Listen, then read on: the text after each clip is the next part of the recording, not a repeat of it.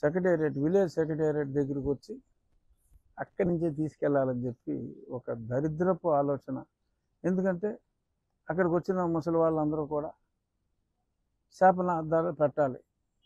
ఇది తెలుగుదేశం పార్టీ చేసింది ఎంత అన్యాయం చేసింది అని శాపనార్థాలు పెట్టాలి అని చెప్పి ఇది ఒక కుట్ర. తక్షణం ఈ కుట్రకు భాగస్వాములైన అధికారులను కూడా విధుల నుంచి తొలగించాలి. ఎందుకంటే ఇది ఒక దద్దమ్మ ప్రభుత్వం ఇది ఒక చేతగాని ప్రభుత్వం ఇది ఒక చావలేని ప్రభుత్వం. లక్షా పాతిక వేల మంది సెక్రటేరియట్ ఎంప్లాయీస్ ఉన్నారు. కేవలం యాభై ఆరు లక్షలు ఇవ్వాలి. అంటే ఒక వ్యక్తి యావరేజ్ యాభై మందికి డిస్ట్రిబ్యూట్ చేయాలి. ఒక వ్యక్తి ఒక రోజులో యాభై మందికి ఇవ్వలేడా? లక్ష పాతిక వేల మంది ఉన్నారు కదా. యాభై మందికి ఒక్కొక్కడు వెళ్ళి ఇవ్వలేడా? దానికి వీళ్ళు చెప్పిన ఒక స్టూపిడ్ లాజిక్ ఏంటంటే మరి ఇల్లు అడ్రస్లు తెలియదు కదండి. అంటే వెధవల్లారా? మీరు అడ్రస్ లేని వాళ్ళకి ఇస్తున్నారా? ఆడిగేలా తెలుస్తుంది అడ్రస్? కాగితం మీద ఉంటుంది కదా అడ్రస్. మీరు పింఛన్ ఇచ్చే వాళ్ళకి అడ్రస్ ఎక్కడ? నిక్షిప్తమై ఉండదా? వాళ్ళ హౌస్ అడ్రస్ ఆ విలేజ్లో ఉన్న ఆ ఎంప్లాయీస్ ఆ విలేజ్ని వార్డుల వారీగా ఒక్కో వార్డు ఒక్కొక్కరికి అప్పచెప్తే ఆ వార్డులో అడ్రస్ పట్టుకోలేరా? యాభై మంది అడ్రస్ ఒక వ్యక్తి పట్టుకోలేడా? బుద్ధుడిని మారుతున్నారా? బుద్ధి లేకుండా మారుతున్నారా మీరు? అంటే ఏదైనా అబద్ధం చెప్పినా అతికినట్టు ఉండాలిరా సొంటలారా లక్షా పాతిక మంది లక్షా పాతిక వేల మంది ఒక యాభై ఇళ్ళకి వెళ్ళి ఇవ్వలేరా? ఎందుకు ఇవ్వలేరు? అడ్రస్ పట్టుకోలేరా? ఒక పోస్ట్ మ్యాన్. రోజుకి యాభై ఇళ్ళలో లెటర్లు వేయట్లేదా? అడ్రస్ చూసుకునే కదా వెళ్ళేది. Postman. కనీసం పోస్ట్ ఆఫీస్ స్టాఫ్కి ఇచ్చినా సరే ఎఫెక్టివ్గా ఇచ్చేయగలరు. చిత్తశుద్ధి లేదు. ఎలాగైనా సరే ఈ వృద్ధుల్ని రాచి రంపాన పెట్టాలి. అనే ఆ నింద చంద్రబాబు నాయుడు గారి మీద పవన్ కళ్యాణ్ గారి మీద వెయ్యాలి అనే ఒక దరిద్రపు దురుద్దేశం తప్ప అసలు మీకు ప్రజలంటే ప్రేమ ఎక్కడ ఉందరా మీకు ఉందా ప్రజల మీద ప్రేమ? వృద్ధుల మీద ప్రేమ ఉందా మీకు? యూజ్లెస్ ఫెలోస్ ఉందరా మీకు వృద్ధుల మీద ప్రేమ? కపట ప్రేమ? దొంగ ప్రేమ? ఎంత ప్రేమ ఉందో? నీ చెల్లెళ్ళే చెప్తున్నారు ఆ టాపిక్ వస్తా అది మెయిన్ టాపిక్. ఇక్కడి నుంచైనా అయినా తక్షణం ఈ సర్ప్ ఇన్ఛార్జ్ ఆ రెడ్డి గారిని ఇంకో రెడ్డి గారిని అందరినీ తీసేసి ఎందుకు కొమ్ము కాస్తారు మీరు? ఏమిటి మీకు దరిద్రం ఎందుకు పట్టింది?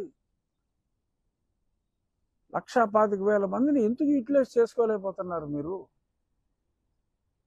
ఇది ఎలక్షన్ కమిషన్ తీవ్రంగా తీసుకోవాలి అధికారుల్ని నిర్మూలించాలి అదే తక్షణ విధుల నుంచి తొలగించాలి. లక్షా పాతిక వేల మందిని ఇంటింటికి వెళ్ళి పంపిణీ జరిగేలాగా చూడాలి. అదర్వైజ్ ఇటువంటి దద్దమ్మ ప్రభుత్వాన్ని ఈరోజు ఎండలో మీరుంటానికి కారణం జగన్మోహన్ రెడ్డి.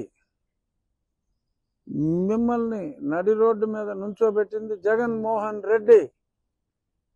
ఈ యాభై ఆరు లక్షల మంది ఒక్కళ్ళు కూడా మీరు ఆ జగన్మోహన్ రెడ్డికి ఓటు వేయటానికి వీల్లేదు.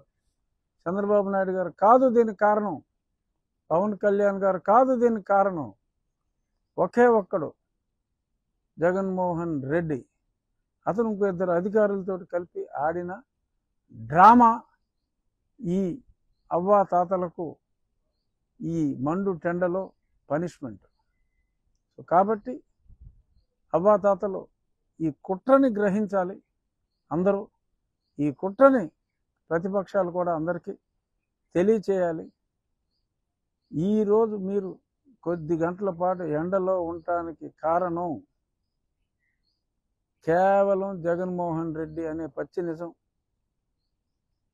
వృద్ధులైన అవ్వాతాతలు అందరూ కూడా గ్రహించి కుక్క కాటుకు చెప్పు దెబ్బ మాదిరిగా ఎండ కాటుకు గురి చేసిన ఈ ప్రభుత్వాన్ని మీరు ఓటు దెబ్బతో కొట్టి మళ్ళీ రాజకీయాల్లోకి రావాలి అంటే కూడా వీల్లేనంత దరిద్రంగా ఓడించి పంపించాలి. ఇటువంటి ఉన్మాది ప్రభుత్వం వృద్ధులను కూడా చూడకుండా కేవలం వేరే వాడి మీద నింద వేసి రాజకీయ లబ్ధి కోసం ప్రజల్ని మాయ చేసి రాజకీయ లబ్ధి కోసం చూస్తున్న ఈ కిరాతక ప్రభుత్వాన్ని గద్దె దింపవలసిన అవసరం మనందరికీ ఉంది. అది మరొకసారి తెలియజేస్తున్నా. ఇంకా మరొక ముఖ్యాంశం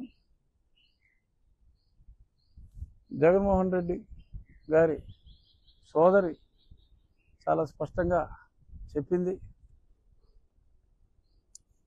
హత్య చేసిన వాళ్ళు చేయించిన వాళ్ళు నిస్సిగ్గుగా రోడ్ల మీద తిరిగి ఓట్లు అడుక్కుంటున్నారు. చేసినోడు చేయించినోడు ఎవరో అందరికీ తెలుసు. జగన్మోహన్ రెడ్డి గారు కూడా చెప్పాడు. దేవుడికి తెలుసు ప్రజలకు తెలుసు అని. ఎస్ ఫస్ట్ టైం జీవితంలో నిజం చెప్పినట్టున్నాడు. దేవుడికి తెలుసు ప్రజలకి తెలుసు అని. కానీ ఆ దేవుడికి తెలిసిన వ్యక్తి ప్రజలకు తెలిసిన వ్యక్తి తను కాదని నమ్మించే ప్రయత్నం చేస్తున్నాడు. అది తనే అని చెప్పి దేవుడికి ప్రజలకి కూడా తెలుసు. చిన్నప్పటి నుంచి అన్నయ్య ఎంత దుర్మార్గుడైనా ఎందుకనో పాపం ఆ పిచ్చి తల్లి షర్మిలకి అన్నయ్య అంటే విపరీతమైన అనురాగం. అందుకనే సీట్ ఇవ్వకపోయినా ఎన్ని అన్యాయాలు చేసినా రెండు వేల పంతొమ్మిది ఎలక్షన్లో కూడా కాళ్ళు అరిగేలా సహాయం చేసింది. థ్యాంక్లెస్ ఫెలో ఈ జగన్మోహన్ రెడ్డి.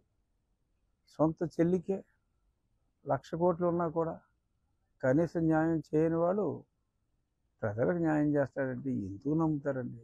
ఎవరు నమ్ముతారండి? నా అక్క చెల్లెమ్మ. ఐ థింక్ ఈ మధ్యన నా బీసీలు ఎస్సీలు అంటున్నాడు తప్ప నా అక్క చెల్లెమ్మలు అంటూ మానేశాడు.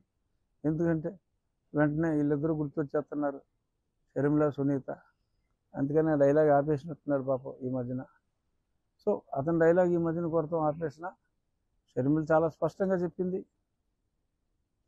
ఇప్పుడున్న వ్యక్తి మా అన్నయ్య కాదు. రక్తంలో ఉన్నాడు.